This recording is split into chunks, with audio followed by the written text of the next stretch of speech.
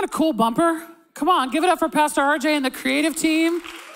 I just like to shout them out every once in a while. I know, I thought that was really cool. I can never in a million years do that, so I always like to appreciate those who do. Well, I'm thrilled today. We are kicking off our KB convention with one of our Kingsway missionaries. Um, Dennis and Jenny Duncan currently serve in the nation of Turkey, and they've been there for nine years. And prior to that, uh, they were church planters in the Boston area and then in Pennsylvania. And then Jenny was a professor on staff um, at the University of Valley Forge. So I'm excited. We had a great nine o'clock service. I know you're going to enjoy hearing about what God is doing in the nation of Turkey. So would you do me a favor? Would you give a warm Kingsway welcome to missionary Dennis Duncan? All right. Thank you, Arlena. Yeah. You guys have been supporting us for all nine years we were in Turkey, we thank you for your prayers of support. And we did, uh, yeah, we were church planters in Boston, worked at the University of Valley Forge. And then in our 50s, God called us to move overseas to the nation of Turkey. Can anybody say, wow? You're never too old to be called, ever, never too young. So God calls all ages, all people. So here we are getting called in our 50s. So we moved over there in the year 2015. And uh, so the first thing you do is uh, you just try to adapt to the culture and learn the language. And if you don't know too much about Turkey, it's a pretty good sized country 85 million people. But there are very, very few Christian Turks. So if I were to put it this way, only one or two out of every 10,000 Turks are followers of Jesus. One or two. So that's a lot of work to do. So we're here in this context and we're learning. And after our first year, a couple years, we moved down to the city of Antalya, Turkey. My beautiful wife is here on our prayer card photo, which we do have some in the back after the service. And uh, she'll be joining us for the next service. But uh, the next city, uh, next photo shows our city, Antalya, Turkey. And uh, we're right on the Mediterranean coast of the southern part of Turkey. And this is the fastest growing city in, in Turkey. It's the fastest growing city, really, of Europe because uh, Turkey is on two continents, uh, both Europe and Asia. And uh, we live, our house is right there in the middle of that. We've been down there several, several years now. Uh, so, wow, what a daunting task to move to a Muslim nation and to try to reach people for Christ. Now, I wasn't prepared for Muslim ministry. Uh, our background was here in America. We did do urban ministry, did do church planting there. But wow, we're just like, God, you need to help us. How many know God, when we when He calls you, He knows what He's doing. and He, he He's gonna guide you, He's gonna help you, He's gonna resource you. And that's what happened. We basically, as we're praying down in our city, how can we reach, how can we touch people? God opened a door for us to reach people through English, through English conversations. We fa- actually found a, an app online called Meetup that some of you may have heard, and there was a group of people in our city having a group at a local Starbucks. So when you come visit us in Antalya, you can go to Starbucks and get your Starbucks fix. We have it there. And these young people were sitting around a table just having conversation in broken English. We joined them and we had a wonderful time. Well, that inspired us. About a month later, we formed our own group and uh, we just put on that app says we're a group of people pursuing life together through friendships through fun activities through english conversations and we just start posting events so hikes and picnics and things like this and people sign up people start showing up. We actually even put on the app, we do all of our activities based on Christian principles in a Muslim context. You know what? I didn't say this the first service. Over 3,000 people have signed up for our group. Amen. Look at that. This is our first, our first activity we did. This we we took a hike up into the canyon, and uh, we have a beautiful water. You can jump in, put these vests on. You climb on these rocks. You, there's actually a little waterfall in there. And these three Turks uh, signed up and came out. And they speak good English, and we're just hanging out with. Them. They became our friends, and they just kept coming out to activities. And actually, you know, we we are we just live out our faith in front of them. but Ali John, who's standing on the right uh, wasn't interested. Actually, he wanted to talk about his girlfriends all the time. I said, That's all right, Ali John. But he kept coming, kept coming. Well, let me tell you, what we do is we do all these things, we live out our faith in front of them, and we always have opportunity to try to invite them to our spiritual activity. He wasn't interested, interested very much, but four years later, something happened in Ali John's life. His father passes away, and at the funeral, the local imam comes to help perform, but the first words out of the imam's mouth was, Where's my money? And our friend was like, That's what you want to talk about first? He was so upset. Well, we had an Easter program right after that, and he comes to our Easter program. After the Easter program, he goes, Dennis, I'm ready to study the Bible with you. Yeah. I mean, he was so like, basically, I think he said in his mind, that's it, I'm done with Islam. I'm going to go learn how to be a Christian. and that's what he did. I took him through the book of Romans every week. He was faithful. One, Romans 2, Romans 3, all the way to Romans 10. We got to Romans 10, if, if you should be familiar with this, says, if you confess with your mouth Jesus is the Lord and you believe in your heart that God raised him from the dead, you will be saved. I said, Ali John, we've been talking about Jesus all this time. Do you believe this? He goes, Yes, I do. Are you ready to make Jesus Christ the Lord of your life? He goes, Yes, I am. And he received Jesus right there, asked him into his heart. Hallelujah. After the prayer, he goes, I'm saved, I'm saved.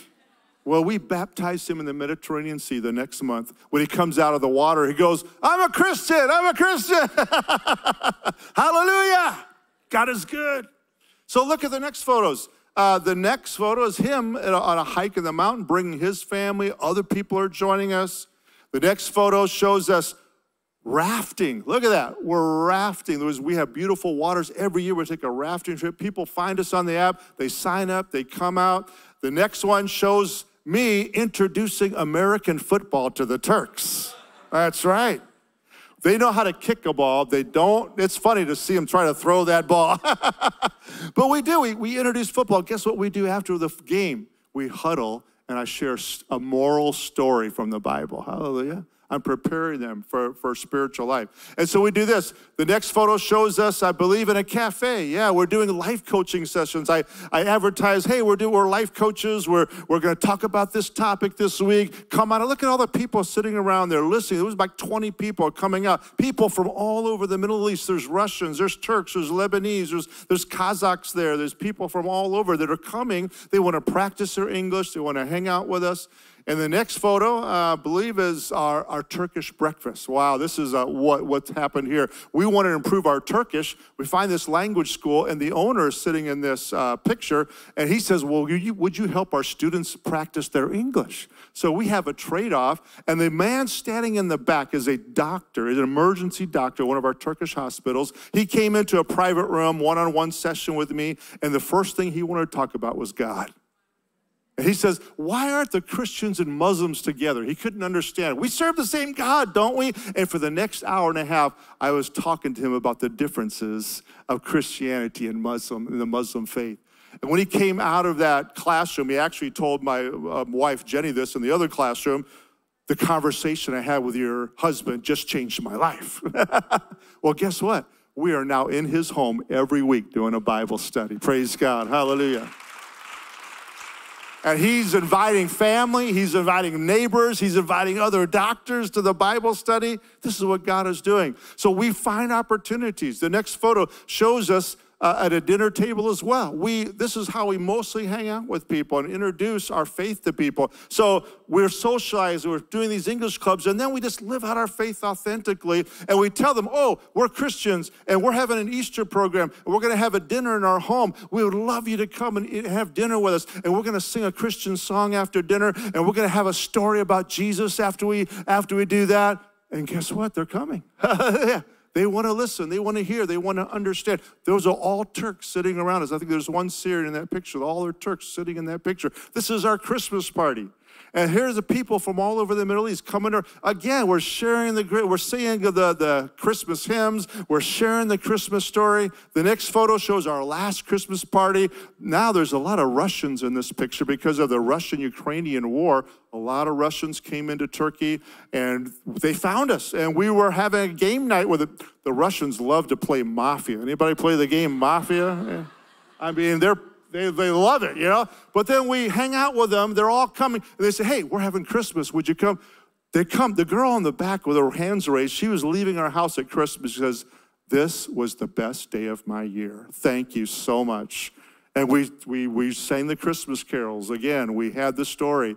The next photo shows the couple that was in the front getting married. They didn't, weren't believers when they came to our Christian, our, our, our programs. And they said, We want to know more about the Bible. They came to the Lord, but they weren't married. They were living together. You know, we just said, The Bible says you should get married. They said, Okay. and we married them right there on the beach in, in, uh, in Turkey. The next photo shows one of our other English students becoming a, a follower of Jesus Christ. He's a Turk. Look how big he is. And we're baptizing him in the Mediterranean Sea. Hallelujah. This is one of our teammates and one of the Turkish, look at the Turkish pastor, how small he is and how big he is. They're coming to the Lord. Hallelujah. Without a church building. Just loving people. Just hanging out with people. Just sharing our life in front of them and inviting them to discover Jesus with us. Hallelujah. Inviting them to read the Bible with us. I want to show a scripture before I give another testimony turn to the book of Colossians. I think we're going to have it on the screen for you. Colossians chapter 1. Paul is writing to the Colossians. Now, Paul didn't start the church in Colossae. Now, Colossae is present day Turkey. A lot of the books in the Bible, New Testament, are present day Turkey. So, Colossae, not too far from where I live even now, uh, Paul's writing to them. He says this This same good news that came to you, it's going out all over the world. It's bearing fruit everywhere. I think Arlena said it this morning. It's changing lives. Hallelujah. How many the gospel came to you and it changed your life? Praise God. The good news. It changes us. It changes our lives. These Turks, their lives are being changed. If my wife was here, she would, she would give a testimonies about the girls she's interacting with and say, I'm, I'm changing, I'm changing. Hallelujah. It changes us. And it says it's changing other people's lives, just as it changed yours. How? It says, just as it changed your lives from the day you first heard and you understood, and it could add the words believed, the truth about God's wonderful grace. This is the good news. Amen? God has grace for us. We don't have to work for it, we don't have to earn it. God freely gives it to us when we believe, when we understand the truth about God's wonderful love. And this is, this is what's happening in our part of the world. Now, look at the next verse, though. This is wonderful. Colossians 7 says, You learned, 1 7, the good news from Epaphras, not from Paul, from Epaphras. Who is Epaphras? He's our beloved co worker, Paul says. He has told us about the love for others that the Holy Spirit has given you. And if you go to the next portion in chapter 4 of Colossians, he says again, Epaphras is a member of your own fellowship. He's a servant of Christ Jesus. He's sending you his greetings. So I stopped there a moment. Who is Epaphras? Somehow the gospel came to Epaphras. How many are glad the gospel came to you? Amen? I don't know how it came to you, but it came to you. Maybe this church, maybe a friend, maybe a relative, maybe your parents introduced when you were a child, but the gospel came to you. And, and think about your parents. Someone introduced it to them, or their, your grandparents, or somewhere in your family line. The gospel came to your family. Hallelujah. It changed your family, it changed the dynamics. And Epaphras somehow heard the word of Christ, word the word of God, and he brings it where? He brings it back to his family. He brings it back to his city. He brings it back to his neighbors. So Epaphras planted the church in Colossae. And he, he is he's sending his, he's teaching others, he's sharing others. But where in the back in the first chapter, where's Epaphras now? He's with Paul, right? He's traveling with Paul. He's not in Colossae. He's somewhere wherever Paul is, and they're writing this letter back to the church at Colossae. So now he's traveling out. I always say this the missionary has two definitions. One, is one who brings good news. Amen? How beautiful are the feet of those who bring good news. How many want beautiful feet in the house? Amen? that's, what, that's what Jesus says. That's beautiful feet. If you bring the good news to somebody, if you share your faith with someone, if you tell somebody else about what he's done in your life, that's good news. Going back to Romans 10, I, I told you that Ali John, I used that scripture to introduce them to the Lord. And uh, it goes on in that passage, one of the verses says, Everyone who calls upon the name of the Lord will be saved. But how can they call on him if they don't believe in him? And how can they believe in him if they've never heard about him? Now, listen, Jesus' name has gone all over the world, but many don't understand the truth, right, about his wonderful grace. They're still blinded in Islam, in the Muslim world uh, that, you know, there's no grace. It's all works based and it's all really Allah. All, you know, it's just His mercy. We're dependent upon Him. There's really nothing I can do. That's kind of their attitude. I just got to live my life and try to be good and, and my, my destiny is in His hands, whatever He decides. But the truth is, God has grace for us. Hallelujah. And it changes our lives when we understand this truth.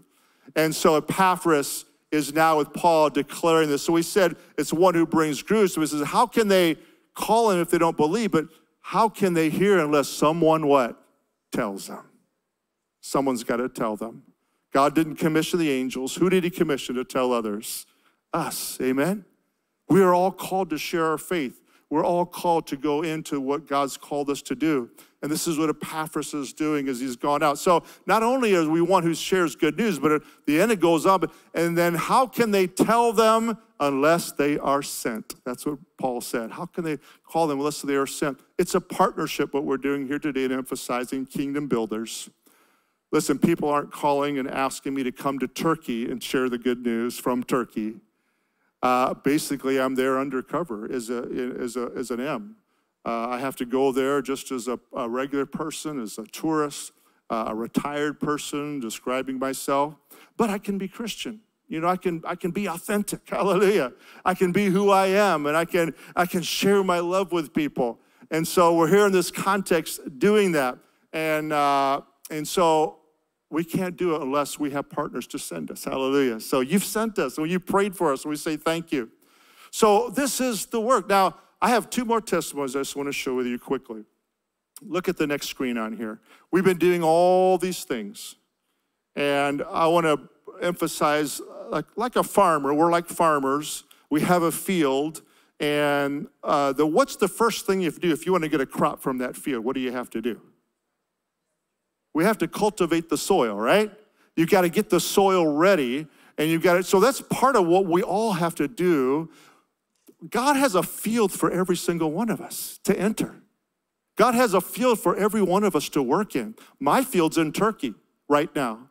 But I used to have my field in Boston. I used to have a field at Valley Forge area. But now, but you have a field right here. Maybe there's a field God's calling you to. You have to enter that field. How do we enter that field? I had to learn Turkish. Now that's not easy in your 50s. I had to learn a new language, and and uh, you know I can get by. I can talk, but it's it's hard to go deep. And that's God's opened this tremendous door through English for us.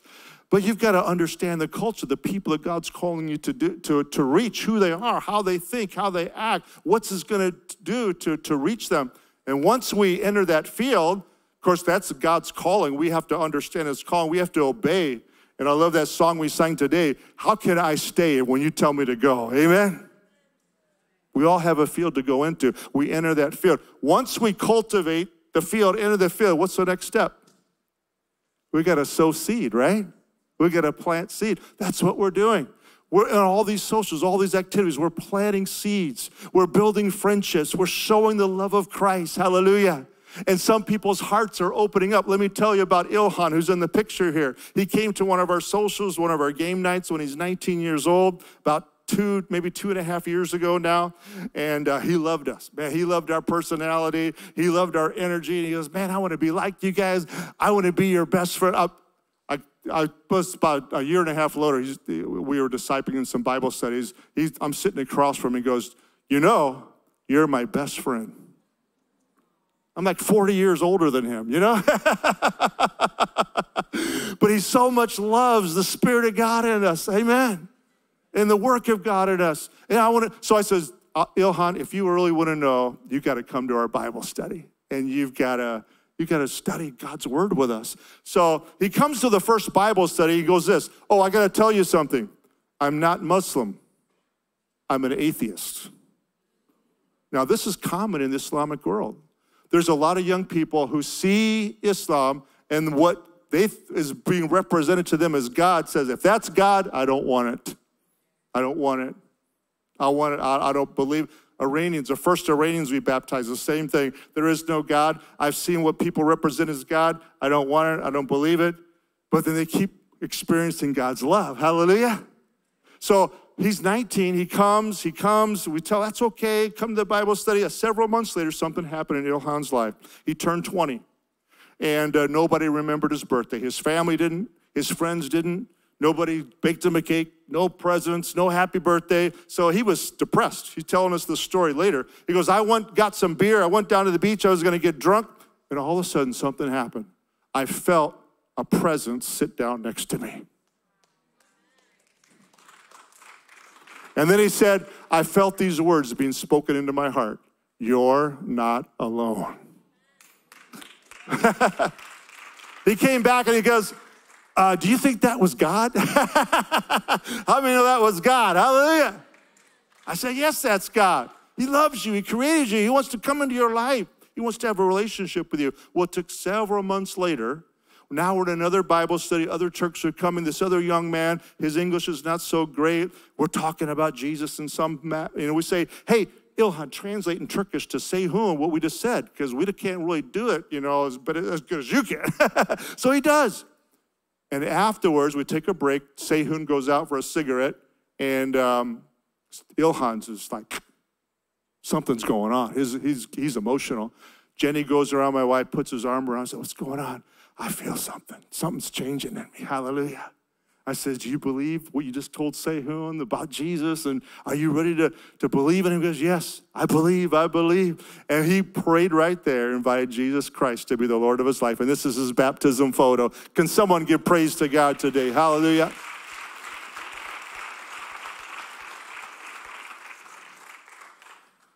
Once we sow the seed, God brings the harvest. God's working. God gives visions and dreams. God sits down to people at the beach. God speaks into their heart. That's His work. Our work is to sow the seeds of love and then invite them to study God's word with us. Hallelujah. And disciple, that's the third field. The third field is disciple them, sow God's word into them, keep preaching the good news, preaching the word of God to them. And then finally, we build the church. Now, we've been doing all these activities that I've been telling you about without any facility, only our home, other people's homes, the beaches, the parks, the cafes. But last year, I started having dreams. Now I know I'm an old man, right? What does the Bible say? Old men will dream. I used to have visions. Now I got dreams, right? but I had three dreams last year. The beginning of the year, I had a dream about a building. Actually, I was standing looking at myself on a platform leading worship, and other people were in the uh, auditorium worshiping, and I just woke up and thought, just thought it was a cool dream. Three months later, I have a second dream. This time I'm in a classroom, people around listening to me. I'm teaching. There's even some uncomfortable, a man wants to get up and leave, and I knew it was a mixed crowd, but I was teaching the Word of God. Three, I woke up and I said, That's cool, but I didn't think much of it. Three months later, I have a third dream. This time, a pastor, international pastor, comes to Jenny and I and says, Hey, we have a church. Would you come in and preach at our church? And would you lay hands on our people and pray for God's healing for them? Hallelujah. So I'm in my dream laying hands on people and praying for people. And I wake up from this dream and I say, Okay, God, you got my attention. How many know when God does something three times, he's speaking, right? Three times, right? Three, the, the, the sheet that Peter got was three times. Three times they had to come down till he got it. I said, okay, God, what are you doing? Just after that, I went to a small Turkish church and I met someone I never met before. He was visiting, and he, I said, well, who, What are you doing? Well, I'm moving from Istanbul to your city, Antalya, to work with this building project called Mosaic. And I said, Building project. I've heard something about this, but I don't really know. Tell me about it. So here is the picture of the building that was just built in our city this year. It's not a church, it's a cultural center, but it has Christian activities going inside of it. Hallelujah. Amen. So it's a coffee house, it's a workout area, there's a rock climbing gym in here, there's co working spaces. When I met the director and told him all that we're doing, he says, We need you to bring all your activities into this building. And would you do your English clubs in here, your socials, your Bible studies? So our goal is to expand because we've only been having have groups about 10 15 max 20 but now we can multiply there's also a 150 seat auditorium in this building that's housing four different churches right now an English, a Turkish, a Russian, and a Farsi Iranian church. Can someone give praise to God?